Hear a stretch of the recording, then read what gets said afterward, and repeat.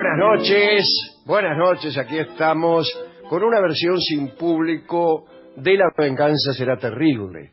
Se encuentra también presente en estos desiertos estudios Patricio Art. Hola amigos, buenas noches, bienvenidos a todos. Bien, vamos a dar algunas noticias, si a usted le parece bien. Sí, a ver, eh, presten atención porque... Por favor, eh, es lápiz y papel, Es señora. un fixture complejo, sobre todo la gente de Córdoba. Atención Córdoba. Ya se viene, ya la tenemos encima. Sí, la gente que está escuchando hoy por Radio Universidad. Vamos a estar, eh, ahora no, hasta el jueves. El jueves. ¿A dónde? Se preguntará la señora. eh, en Espacio Quality, Sí, que es, ahora ya se ha transformado en nuestra locación habitual. claro. en Córdoba Capital y las entradas están en Ticketek, eh, así me dicen. Bien. Eso va a ser el jueves. El viernes ¿El jueves a qué hora? Vamos a a las nueve de la la noche, nueve y media. Nueve y media. Vaya llegando un poco antes. Bien. Y el viernes estaremos de regreso en Buenos Aires y a las ocho de la noche en nuestro Caras y Caretas habitual en la En la función para las viejas. Claro, Venezuela 330. La semana que viene estaremos el jueves en Lomas de Zamora, en el Teatro Español, y el viernes otra vez en el Caras y Caretas. en el Caras y Caretas. ¿Se entendió? Bueno, o sea, esta semana Córdoba, Buenos Aires. Y la semana que viene Lomas de Zamora, Buenos Aires. Buenos Aires. Es así. Qué fácil es así. Es fácil. Todo explicado. Claro. Y muy pronto va a ser Jujuy, Salta, Tucumán. Pero ya, ya vamos a dar sí. eh, esta información con pelos y señales. Pero mira que es muy pronto, ¿eh? Es muy pronto. Le digo, ingresen al Facebook de La Venganza, que es... eh, Y allí obtendrán fotos de Dorio desnudo. Además. Etcétera, etcétera. y todo el detalle de, de fechas, de presentaciones y de el, el lado B de este programa. Todo el chismerío. Sí, todo como cómo se hace, eh, la, pre- la previa, Sí. la- el, el estrenamiento. El- claro, todo el entrenamiento. Sí, y, sí. Bueno, Y, y así.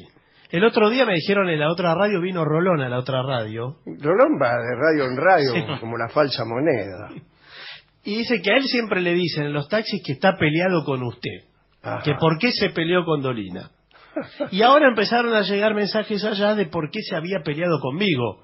Como Ajá. que yo les arruché el piso y que entonces a él lo rajaron de este programa porque yo hice algunas maniobras. Y está bien. O sea, se enteraron. Se, se enteraron los Sí. taxistas. Los taxistas están bien informados siempre. Además, Rolón Sí. viaja en taxi, cosa que nosotros no tanto. Claro, no, no, no, no, no, no, no nos enteramos por eso. No, por eso. No nos enteramos de nada de lo que está ocurriendo. Por ejemplo, cómo evoluciona el pensamiento en el mundo, no lo sabemos. Y no. El que lo sabe es Rolón y los taxistas. Pero quizás usted está siendo en este momento difamado en un taxi Claro. Y, y acá está de lo más eh, campante y sonriente. Tendría que hacer el ejercicio de ir a un taxi claro. Y ver para qué es lo que desmentir. están diciendo de mí. Sí, para desmentir a En general es cierto, así que... desmentir a Rolón o a Dorio, que también Claro, dice claro, sus cosas Dorio también, sí. eh, sobre este programa. Bueno, Bueno, ¿qué le eh, parece si pasamos a la parte conceptual, que es aquella donde usted eleva las banalidades de su pobre vida rea sí. a la categoría de a la categoría teórica. Hoy estuve levantando medias sucias, Media sucia. medias sucias tiradas por, por mi casa que vinieron los amigotes de mi hijo Oh. Y se quedaron Sí, ahí. tiran las medias. Sí, porque se sacan las zapatillas, tiran las medias. ¿Y ¿Cómo y se permite tiran usted semejante comportamiento? a jugar. Y peor todavía, ¿cómo le permite a su hijo tener amigos que usted no apruebe? Sí, es no sé, aparecen. Usted Debe- tiene que decirle, el padre debe aprobar expresamente, con, con un acto incluso solemne, Sí. eh, a cada amigo que, que- que el hijo tuviere. Y yo les pregunto. ¿cómo se llama este chico? ¿Dónde vive? Claro. ¿De ¿Es buena es? persona? ¿De dónde es este chico? Claro. ¿Qué ideología profesan sus padres? sí, bueno, no tuve tiempo todavía de, Bueno, de muy bien. preguntar tanto. Pero, eh, ¿por qué se dejan las cosas tiradas? O sea, hay, que, hay que tener un orden en la casa, una... En la casa hay que tener un comportamiento. Yo no sé cómo no hay, así como hay eh, libros y opúsculos acerca del buen comportamiento social en fiestas, Sí. en encuentros en la Embajada de Bélgica, en el teatro, en el cine, lo que sea. ¿Cómo no hay en la casa? Que es donde se empieza todo, ¿eh? Claro. Vio que dicen que es la célula de la sociedad. Todo eso, esas metáforas tan hermosas Sí. que a nosotros nos gustan tanto y que son tan esclarecedoras. Por ejemplo, el, el país es como una casa. Igual, Sí, sí. de dos Y hay que ambientes. empezar a construirlo desde los cimientos, porque si usted empieza desde el techo, Se cae. risa, jejeje. ¿Qué ocurre entonces? Le pregunta usted a la concurrencia para ver si comprendieron. Claro, y entonces le explican. Le explica, claro, le explica. Pero usted como es en su casa, eh, es en el resto de la vida. Sí, es eso está bien, eh, no es cierto, pero está bien Pero está- creerlo. Sí, es así. sí, sí. Ayuda mucho al capitalismo. sí, sí. Casi todo ahora ayuda al Sí, capitalismo. claro, eh. naturalmente. Cualquier cosa Sí, que sí, uno sí, sí. dijera. Bien, eh, tenemos aquí lo que yo dije que no había, ¿Qué? que es un pequeño manual acerca del comportamiento adecuado en casa. O joven borrego que escuchas este programa, joven estudiante, que aún vives con tus padres o con tu familia, compórtate según indican las reglas de educación y de solidaridad. Empecemos diciendo lo que ya dijo el Señor. Sí. Y soy la yo. familia es el primer y principal núcleo social del niño, No del adolescente y del joven. Sí. Eso está muy bien dicho. ¿eh? Y sí, porque si su hijo, Sí. por ejemplo, ve No, que... eh, perdón, antes de aumentar la nafta diría esto.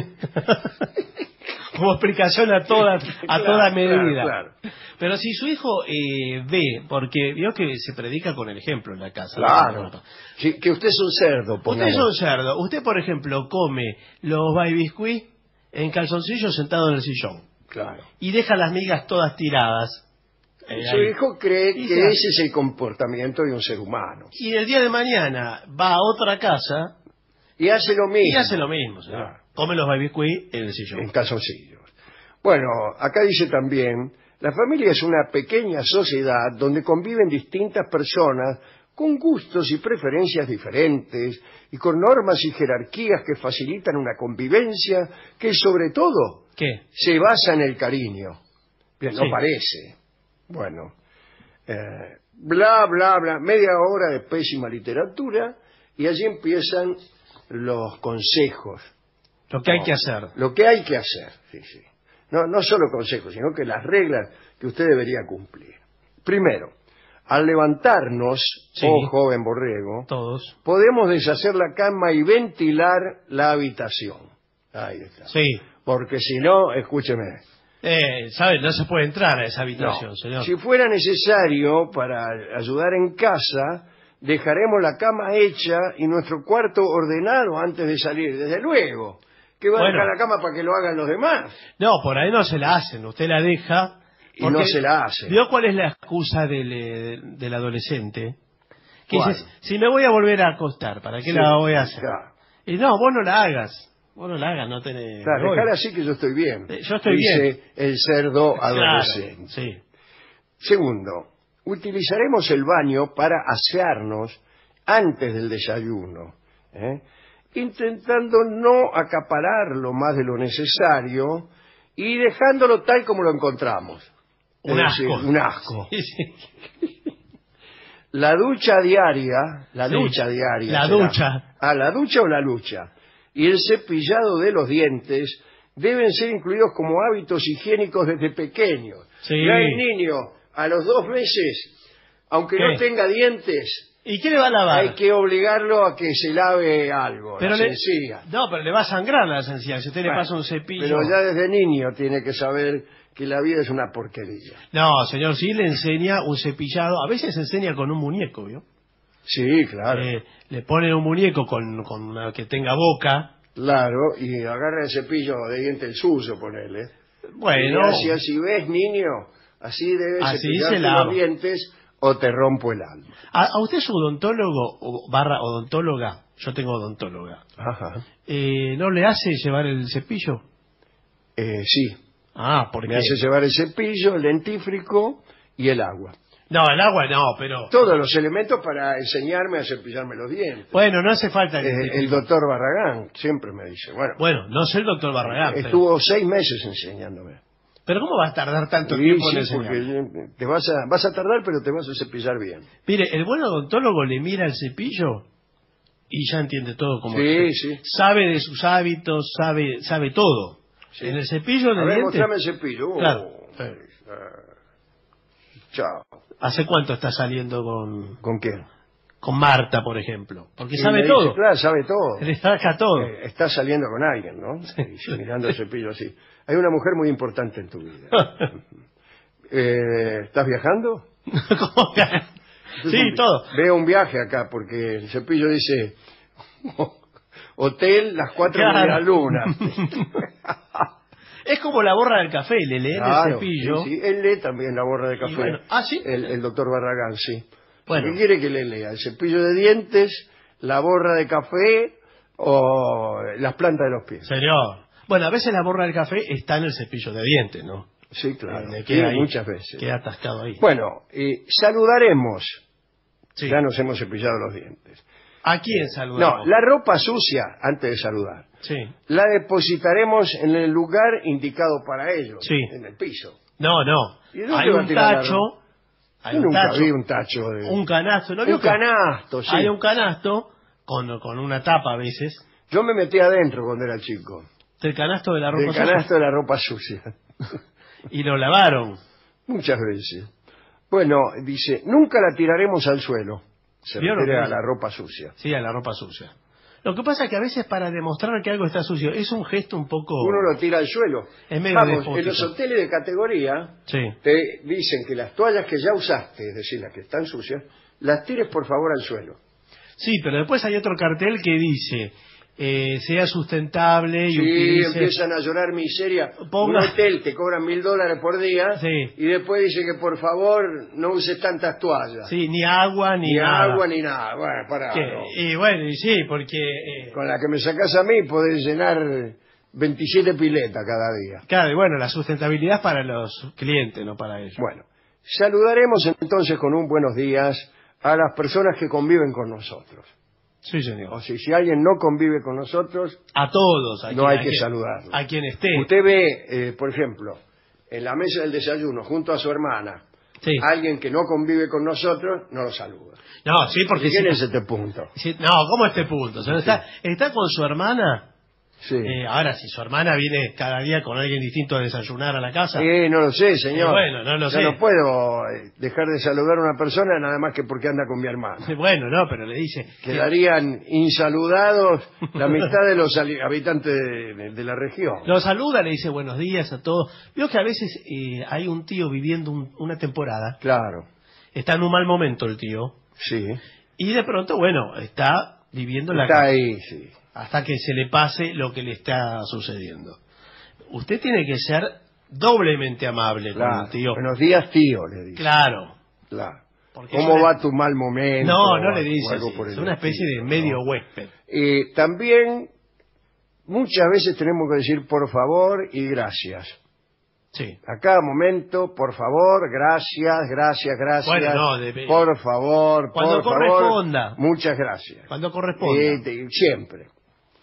En las diferentes comidas, dijo Rolón. sí. Rolón, antes de decir eh, algo, dice diferentes. A las En diferentes. las lo que diferentes comidas, no dicen las comidas, dice, en las diferentes comidas.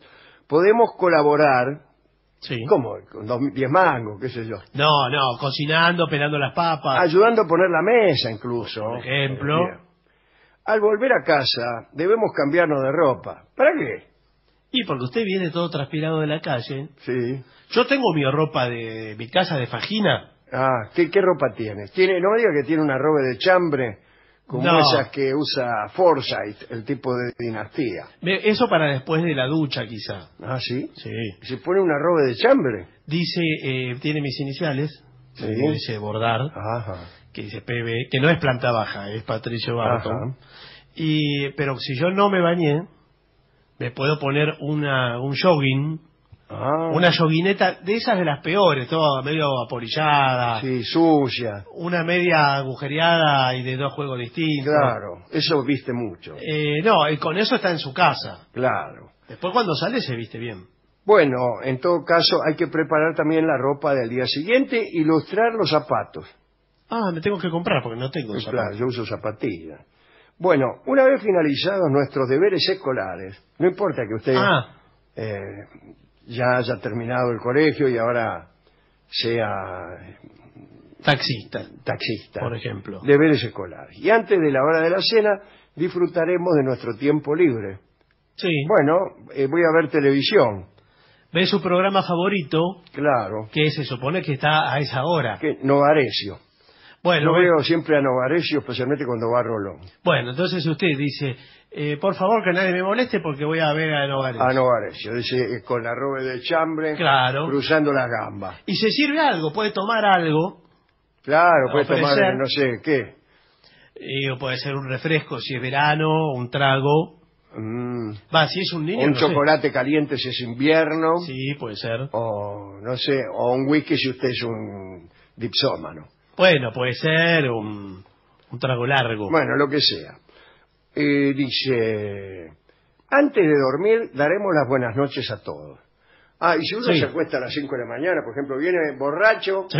a las 5 de la mañana y antes de ir a dormir, ¿qué hace? Golpea la puerta al tío. No, señor, el tío está pasando un mal momento. Sí. No lo moleste. Buenas noches, tío, le dice. Este, es fundamental respetar la privacidad de los que conviven con nosotros. Sí, ¿Qué significa esto? ¿Por qué no me lo aclara? Y, por ejemplo, si usted ve que su hermana... Sí, Disculpe que hable tanto de su hermana, ¿no? sí, sí. Lávese la boca. Bueno, no, no, está bien, pero digo, si su hermana, por la que tengo un enorme agrado Sí, sí. y respeto, Sí, sí. eh, si está en el cuarto con la puerta cerrada, No, no, le, no se le meta. claro, no, no ande diciendo, eh, ¿qué andas haciendo? Hola. ¿Quién es ese otra vez? Eh, no, ni, este, tam- este no es el mismo del desayuno, le dice usted. ni tampoco entre directamente. No, entre. Toque Vale. antes de entrar. Sí, no, no, no toque nada. Ah. No entra. Acá dice que también hay que respetar las conversaciones telefónicas. Uno no debe parar la oreja. No. Eh, los papeles personales, las revistas pornográficas, agrego yo. Bueno, ¿por qué agrega Ah, eso? ¿Y qué? ¿Va a andar con las revistas pornográficas de los otros? No, Compre las suyas propias. No, cada uno tiene su intimidad. Sus revistas pornográficas. No, su revista pornográfica no. Mi tener, padre, mi madre, todos. puede tener otras revistas eh, Que no sean pornográficas. que no sean ¿A pornográficas. qué se refiere? Y revistas de la farándula. Son pornográficas, Eh. señor, parecen todas mujeres desnudas. Bueno, revistas literarias puede haber. También son pornográficas. Bueno, eh, no hay que burlarse de las preocupaciones de quienes conviven Eso con nosotros. Sobre todo del tío. Porque el, el tío. Claro, el tío tiene preocupaciones. Están buscando para matarlo unos deudores. Claro, y entonces este te dice. Dicho, unos acreedores. Claro, los acreedores, sí. el deudor es él. Y le dice, ay, tío, no pasa nada, el dinero va y viene. Claro. Le, le minimiza algo que lo están Sí, angustiando. o tocan el timbre y usted dice, deben ser los acreedores del tío. Sí. No, no, señor. No. Esa clase de bromas no se hace. No, claro que no. Ni tampoco a su hermana. No, ¿por qué? Eh, A Cada nadie. otro más. ¿Cuánto Claro, ¿cuál es? Claro. Si no es el acreedor, es para mi hermana. Sí, debe ser alguno, o los novios de mi hermana o los acreedores de mi tío. Sí. Las discrepancias han de tratarse en privado. Sí. Ah, ¿qué, qué significa esto, doctor? Que si usted, por ejemplo, tiene un problema con, eh, con su tío, Sí. eh, no dice adelante de su hermana, del otro tipo, el problema que tiene con él. ¿Qué venís acá a morfar de ojo, qué sé yo? No, no, le dice, eh, tío, eh, ¿podemos charlar un rato? Claro. ¿Tomamos unos mates? Entonces usted Charlamos. le lleva un mate y le dice, ¿qué venís acá a morfar de ojo? No, no, no le dice Lo mismo que le iba a decir antes, pero en privado. No, le dice, mirá, eh, viste que hay tiempos, como pasa el tiempo. Ya, y ya hace hay, dos años que estás aquí. hay plazos, Sí. ¿no? Eh, necesitamos la intimidad. Lo que usted necesita. Necesitamos tu pieza. eh, Porque sí. ahora, fíjate, eh, mi hermana está de novia Y bueno, y... Se el agranda- se el agranda novio quiere vivir aquí. ¿también va a venir el novio? Sí, sí, sí. Y quiere una pieza para él solo, el novio, imagínate. No, bueno, pero espere un poco, recién Bueno. llega. Eh, nunca de ponerse a nadie de- en evidencia. Como Mm. si, mirá, me afanaste tal cosa. No. la No hay- revisa- te voy a revisar el bolsillo. A ver, aquí está lo que me faltaba. No, eso es de ortiva. Si usted Claro, es así, claro. eh, no. Debemos fomentar la igualdad y la unión entre todos. Esto es aparte. No, Esto eso es es, un partido político nuevo que se hizo. no, eso es dentro del seno familiar. Sí. Eh, todos tenemos eh, igualdad, pero distintos niveles de responsabilidad, me parece, ¿no? Eh, claro, pero sí unión. Sí. En la familia, cada miembro es imprescindible e importante por sí mismo. Sí, señor. Las relaciones deben ser exentas de celo también. Exentas. Exentas. Sí. Eh, los cumpleaños. Cuando Sí. hay, alguno cumple años, hay que acordárselo. Sí, ¿sabe y lo que es, levantarse y decir, feliz cumpleaños, padre. ¿Sabe lo que es simpático? No. Em, pone una... Bueno, tirar cohetes en los velorios. No, señor. ¿No? Pone una cartelera en la cocina, una pizarra, Sí. con las novedades de la semana. Novedad de la semana, cumpleaños el tío. Claro, el tío. O el pone- día del domingo, día de la misma. Bueno, por ejemplo, el día de la hermana. Sí. Entonces usted ya sabe que la tiene que saludar. Eh, y así cada Y día además pone queda simpático, porque podemos Sí. ahí poner unos dibujos, unas caritas. unas caritas así, o escribir otras cosas abajo. ¿no? No, bueno, sí. Como por ejemplo, hermana no tengo, y así. Claro, usted interviene en los mensajes que escribe otro. claro. Eh, pues una especie de performance. Bueno, ¿quiere ver qué es lo que piensa el público? A ver qué dicen eh, la gente. Porque que cuidado, convive. es un tema que, que nos concierne a todos. Sí, porque todos vivimos en un lugar. Y yo cuando veo a algún amigo que maltrata a quienes conviven con él, me Sí. formo una opinión desagra- eh, una opinión negativa de él. Sí, es feo. Y le digo, eh, le digo, Alberto, suponiendo que se llamara Alberto. Sí. Alberto, me he formado una opinión negativa de ti al ver cómo maltratas a tu tío, hermana, etc. Bueno, pero eso quizás usted se forma la opinión eh, más adelante, no lo dice así. No, no. No. Es muy feo, ¿sabe qué? Cuando una pareja se pelea adelante de un tercero Mm. en, en su casa. Siendo el tercero el que anda con alguno de los miembros de la pareja o no. No, no, bueno, eso es mucho peor. Claro, claro. Eh, no, no, usted está de invitado en una casa, Y, yo lo- y por ahí se empieza a pelear en la se pareja. empieza a pelear y lo empiezan a involucrar. Claro, y le dice, ¿qué decís vos? claro, Mirá lo que dice este imbécil. sí, Y así. ¿No es cierto que yo le dije? Claro. eh, le ¿Quién dije tiene razón? A ver, Claro, dice, no, bueno, no dice, no sé. Eh, ¿Para qué venís entonces acá? Si, si no, si no tenés una opinión formada acerca de nada, imbécil. Qué feo eso. Qué feo, ¿no? A mí una vez me invitaron eh, a un, un campo, una casa de campo, Ajá. una pareja, yo fui con mi novia, estábamos invitados, y de pronto ellos nos dijeron, Esther y Víctor eran ellos. Y Esther dice, bueno, acá les dejamos nuestro cuarto, total para lo que usamos la cama nosotros. Señor, digo, ¿cómo remontar? eh, No. Digo, no, no, está bien, por favor. No, porque úsenla ustedes, quédense ahí. Y eh, no nos podíamos ir de ese lugar y así transitó el fin de semana. Así Fin de empezó, semana. así empezó. Se después eran todas alusiones así. Todas, todas, pero Sí. todas Porque eran. esta, cosa. Sí. Es muy feo. Y Y que yo usted que queda me de rey. voy, me voy sin avisar. Sí, en ese A la momento no me podía Me, ir. no. me tomo el colectivo y me voy. Claro. Claro, ese es el problema. No hay colectivo a la noche en esos lugares. No, era el campo y además... Generalmente el campo está en los andurriales donde no hay subterráneo, no. Sí, Salvo que uno tenga auto, cosa que me imagino que no le no, ocurría. nos habían llevado en el auto No, de ellos. ellos mismos. Ellos mismos. ¿no? Oh, no acepte esa clase de invitación. Ellos mismos. No, no. Y después calentaba la comida eh, del- al día siguiente y dice, eh, bueno, calentamos lo de ayer, porque si sobró todo, no me voy a poner yo ahora a cocinar. Mm. Bueno, está bien. Lo felicito, ¿eh? Los ¿Lo famosos conozco, encuentros. No, no, no, no lo conoce.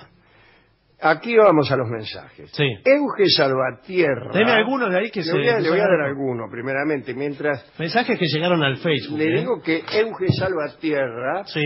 dice, por favor, ¿me pueden decir cuándo vienen a Córdoba? El jueves, este jueves, pasó Este mañana. jueves, si lo acabamos de decir. Bueno, no estaba escuchando bueno, ahí. Por favor. Juan Claudio. Dolina dice, me estoy volviendo viejo porque ya no llego al segmento humorístico y me duermo. ¿Qué me recomienda? Saludos, dice Juan de Comodoro Rivadavia. Y poner Ah. otra audición. yo- No, señor, y escuche a otra hora en internet. Hay aplicaciones para el celular que de, de este programa. No las La- hacemos hay muchas nosotros. maneras de escuchar este programa. Sí, es no casi- solamente a las 12 de la noche. Es casi señor. imposible no escucharlo. Bueno. Si usted quiere hacerlo, ¿no? Eh, Graciela Belies dice, Dolina, en el año 1983 o 1984, ya empieza así Sí. con imprecisiones, dos parejas atravesábamos el lejano oeste de la provincia de Buenos Aires rumbo a un pueblo en un Citroën, dice. Mi amigo Adrián nos hizo escuchar por primera vez tu programa bajo una noche helada y estrellada. Entonces no era ni 1983 ni 1984. Lamento decir. O no era su programa. O no era mi programa. Y, y cada noche trataba de adivinar si las voces eran las mismas cuando eh, sonaba el sordo Gansé. Dice. Así te conocí, dice Graciela, ¿eh? de San Martín. Bueno, muy bien. Cristóbal Pizzas dice, ja, ja, mi novia ronca como un chancho. Lindo tema para hablar. Sí, Es un lindo tema, bueno, sí, sí. puede ser. Bueno. Hemos hablado, creo, alguna Sí, vez. sí, de las novias que roncan, de las personas que roncan. Sí, novias y novios y, y demás. Gerardo Huitrón López, saludos vengadores, los escucho en Ixtapa, Ciutanejo, en, en México, ¿eh? Bueno, aquí Emiliano Melfi dice que le agradece a usted que le respondió un mensaje, no sé a qué se refiere, Bueno, pero dice que no va a volver a consultarlo por algo que se encuentra en cualquier libro de historia. Claro, pues si a usted le preguntan cuándo fue la Revolución de Mayo, ¿qué le va a decir? sí, sí, sí. Entonces, Amelia, todo se encuentra en cualquier libro de historia. sí, alguno, pero a veces hay algunas orientaciones, ¿no? Amelia Julianello dice, yo ya estoy vieja. Amelia Junialello dice, yo ya estoy vieja y no me recomiende nada porque eso no tiene solución. Y tiene razón, si es así. Eh, aquí Emiliano decía que lo, lo escucha el programa por YouTube, pero que donde él lo escucha no están los segmentos musicales, que por favor lo subamos. No lo subimos nosotros a YouTube, son oyentes que suben fragmentos Claro, del programa. Mire si no, y vamos a subir nuestro propio programa. Y... Eh, claro, que No, y además no, no aconsejamos subir eh, a YouTube. eso es un hecho, o sea, Pero bueno, es así. es así. Natalia Natalia, los escucho todos los días. Eh, leo el manual Capeluz Sí, de los 30 años de la venganza y a veces miro videos de transmisiones viejas en internet y, y bueno, no se me hace vicio, no. Besos a los tres, son fantásticos.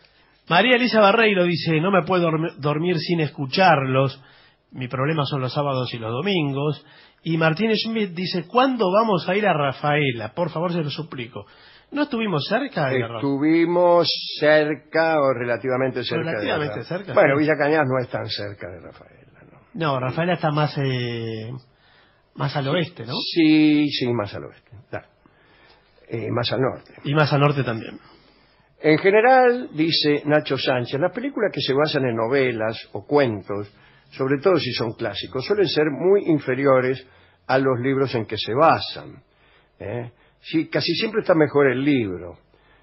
Eh, podría ser admitido eso, como también podría darse el caso inverso, que eh, los libros que se basan en películas también son inferiores. Sí. Hay que ver Son menos también, ¿no? son, son menos, Sí. son menos, pero hay, sí hay. Pero sigue.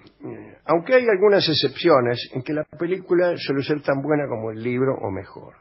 Pienso ahora en Los Duelistas y en Blade Runner o El Padrino, que está mejor la película que la novela. Ahí tiene, sí, sí, sí. Eh, la novela no está nada mal, por otra parte. Pero yo pensaba en el caso de un libro malo que haya inspirado una gran película. Y no se me ocurre ninguna, salvo una, dice, que es La Naranja Mecánica, que me parece una genialidad, pero el libro dice es muy malo. Yo no creo No, no. ninguna de las dos cosas. Creo que eh, estoy de acuerdo con mi amigo Nacho Paurici, que dice que el único director del mundo que nunca hizo una película realmente mala es Kubrick, ¿no?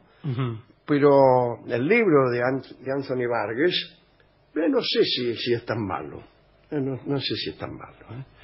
Que, bueno, sé que es muy subjetivo y arbitrario lo que digo, pero aún así me pregunto si conoce Dolina algún otro ejemplo de este último caso. Es decir, Claro. de un libro malo que dé lugar a una, Una gran película. Sí. Eh, vamos a pensarlo. Vamos a Gran pensar. película eh, también es, es raro. Claro, claro, claro. Pero por ejemplo la saga, creo yo, la saga del Señor de los Anillos, película, es muy superior al libro de Sí, pero algunos dicen que es un gran libro. Claro, Eh, pero, ese es el eh, lo que pasa es que este es un asunto, eso quiero decir, en la ciencia ficción, todo ese asunto del espacio, qué sé yo, en donde el cine cumple mejor que la literatura. Claro. El efecto Es especial, el efecto especial es más rendidor que una descripción. Sí, eh, las figuras mitológicas, animales mitológicos. En ese caso, eh, el, el cine como género lleva ventaja. Corre ventaja. En, en lo que es visual. Mm. Pero podría decepcionar también ese. Puede. Precisamente por eso podría decepcionar frente a la literatura fantástica, ¿no? Sí, en general pasa eso, ¿no? Eh, es muy difícil describir el alma a través de- del cine. Mm. Eh, Es más fácil con, con la literatura, escribiendo, sugiriendo, con los recursos de la poesía más que del cine. Mm. ¿eh? El tema es cuáles son mejores, cuáles son mejores recursos, cuáles son recursos más, más profundos. ¿sí? Eh, a mí me parece que por ahora eh, la literatura lleva ventaja. Las grandes obras de la literatura, en general, son más numerosas y, y de mayor calidad que las películas. Sí, y es raro que lleguen al cine también. eso. Y es raro que lleguen así. Que sea la Divina Comedia. Nadie va a filmar la Divina Comedia, estaba pensando en Sí. eso, ¿no? Sí, y quizás hay Un más. embole, ¿no? Eh, que claro, quizás hay más paridad en eso, en aquellos géneros en donde hay mucha acción, como los policiales, Claro. que tanto en el libro como en la película eh, pueden tener más, más paridad de recursos, Sí, porque hay- se valen de acción. Eh, hay cosas también, fíjese, el, un tiroteo. Un tiroteo en la literatura no, Mm. no tiene lugar. No tiene lugar. No. ¿Qué vas a poner? ¿Cuántas páginas? ¿Cuántas, ¿Cuántos balazos? en el tiro? Sin embargo, las, las novelas muy antiguas, cuando aún no se llamaban novelas, los relatos, las sagas, suelen contar las batallas así. Y entonces, fulano tiró una flecha y el otro contestó con otro flechazo y, y son así, sucesión Sí, sí. de lanzamientos. Exasperante. Bueno, pero Sí. es, es un tema interesante. Silvia Grandmontagne dice, faltan cinco minutos y empiezan, muchachos. Y yo acá firme, ah, dice, en realidad, en la catrera, bastante desparramada, haciendo lo de todas las noches, tenerles la vela. Ah, muy bien. Muchas gracias. Carolina Kexel dice, le surgió una curiosidad respecto de su vida privada, eh, Dolina. Le dice, ¿usted dice malas palabras en su vida cotidiana? Eh, no tantas. No tantas, no. No tantas. Cuando lo amerita la situación. Cuando la medita la situación, no eh, digo muchas más, quizá cuando estoy solo. Mm. Eh, Contra el televisor, eh, eh, o la- eh, en como respuesta. Sí, sí, sí, en algunas situaciones, pero por ejemplo cuando estoy en los restaurantes con mis amigos, no, Mm. no digo malas palabras. No. no porque pueden molestar a alguien. Eh, sí, pero no es que me lo prohíbo, ¿eh? A veces bajo saltos del cielo como cualquiera, pero eh, por ello escucho a algunos de mis conocidos usarlas cuando no es imprescindible. Y entonces, eh, bueno, trataré de no incurrir en este defecto que a mí me resulta tan desagradable. Mm. Así que bueno, dele. Bien, el eh, Flavia Casim dice, nunca ponen mi mensaje. Me imagino que Sí, será- ese es eh, por culpa de Gillespie. Vamos a la culpa a Gillespie. Bueno, sí, es verdad. Total no está. Claro, estaba en la lista de Gillespie, Flavia. Sí, estaba sí. tachada. Y Gillespie dice, a esta no le voy a leer los mensajes. Porque dice que cada vez es menos borrega y eh, sigue esperando, no sé qué Claro. espera, Eh, bueno. pero bueno, se, se está desborregando. Eduardo Enrique Víctor Alejandro López. Hola, venganza. Desde Entre Ríos los saludo con un fraterno abrazo. ¿eh? Cumbia para no llorar por el sordo. A mí hay dos canciones que me gustan. Samba para no morir Sí. y Cumbia para no llorar. Melissa Santibáñez dice, cuando conocí al niato, lo invité a verlos aquí mismo en el Caras y Caretas. Ustedes saben cómo terminan esas cosas. Dice, hace un año y medio los escuchamos siempre en nuestro hogar. Mire usted. Eh, y le quiere pedir al trío sin nombre Father and Son. Que es la canción preferida del niato. Eh, debe ser. Debe ser. Así que se lo pasamos. Mire cómo se forman relaciones con este programa, qué lindo. Bueno, vamos a hacer una breve pausa, querido Barton, y luego retornaremos con un tema de hondo contenido social. ¿Social? No sé.